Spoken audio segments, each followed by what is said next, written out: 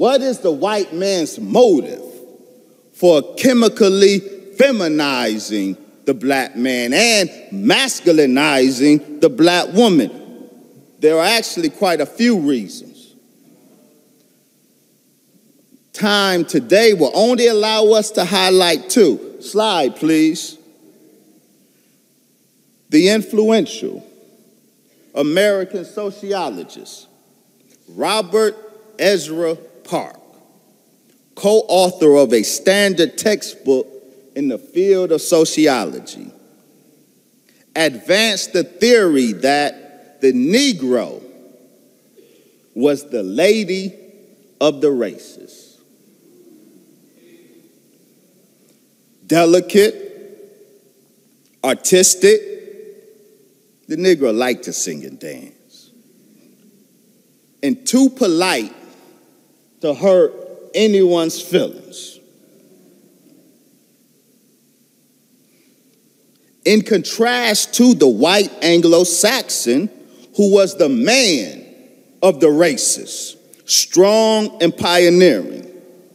Park's racial and racist sociology was only a modern version of the old colonial propaganda, according to which heterosexual masculinity was strictly the prerogative, was strictly a white prerogative in European colonies. In the European colonies, white heterosexuality, white male heterosexuality was strictly and legally the prerogative of the white colonials, even while a homosexual imperative actually underpinned the whole colonial operation. The European colonies were homosexual playgrounds for the white man.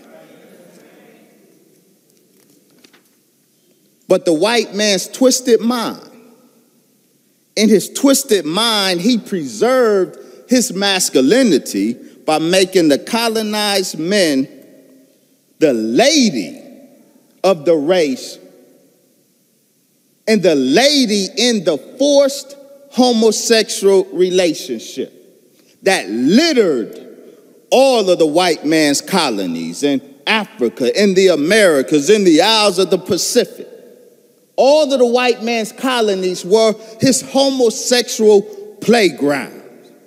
The colonized native cultures were feminized, and the local men were unmanned in order to protect the white colonial's privilege of being the only man in town. This country never put this racist myth of the Negro as the lady of the races to rest.